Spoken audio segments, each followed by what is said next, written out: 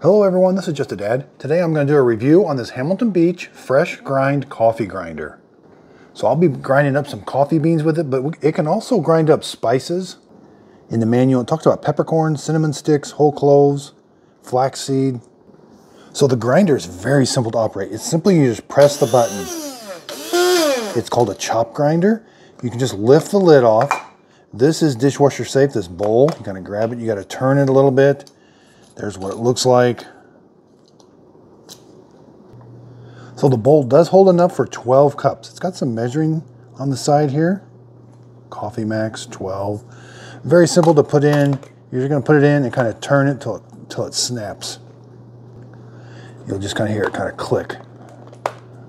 And then the lid, it just simply, this is what presses the button to make it go. So you gotta kind of line that up. It just snaps on. Overall, it's right at seven inches and it's only four inches wide. So the cord is a two prong cord and it's 24 inches long. Now the next fun thing is cord storage. Pull this and you can wrap this cord around and you can store up that cord and throw this in the drawer. There, I wrapped it around and then you can store it. This can fit in the drawer just like that. Now it does say it's 120 volts, 60 hertz, 125 watts.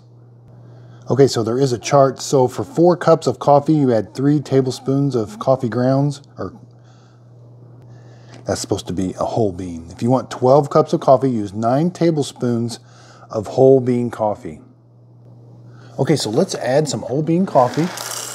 Very easy to see how much you've added right up all, basically all the way to the top. You're simply gonna slide the lid on. There's these little notches on the side, so slide it on. And you're gonna press this. It says about 20 to 30 seconds, so the longer you press it, the finer the grind. So let's just press it.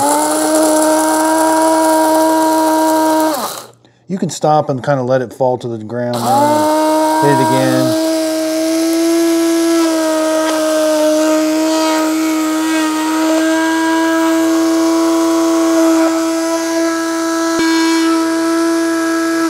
Okay, again, you have to do you have to press that to make it work.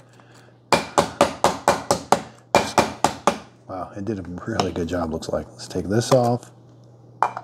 Yep. Okay, you can simply just dump over the whole grinder, or if you want, you can take the cup out. There's how it did. Okay, so here's the coffee grounds. It did a really good job. It's pretty consistent with a medium grind. There is a few fines in there, that's okay. But wow, it did a really good job. So cleanup is very simple. Again, I can wash this out and put this in the dishwasher. It's very simple. Both these I can put in the dishwasher. I'm just really impressed with this little Hamilton Beach uh, coffee grinder. Hope the video helps. Thanks everybody for watching.